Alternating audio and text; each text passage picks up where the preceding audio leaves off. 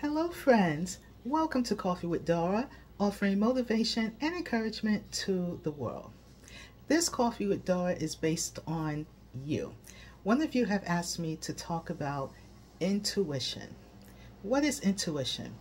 Intuition means something that you feel inside that makes you do something or makes you think about something. Hmm. For example, let's say you're walking down the street and all of a sudden you start to feel uncomfortable and something in you tells you to turn the corner.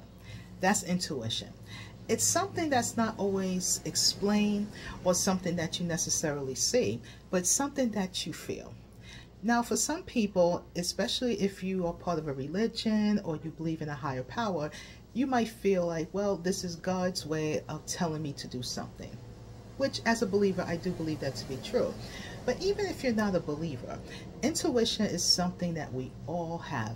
And it's a positive because it gives us the opportunity to feel, to think, and to move in the right direction. Intuition will not steer you wrong, I promise you.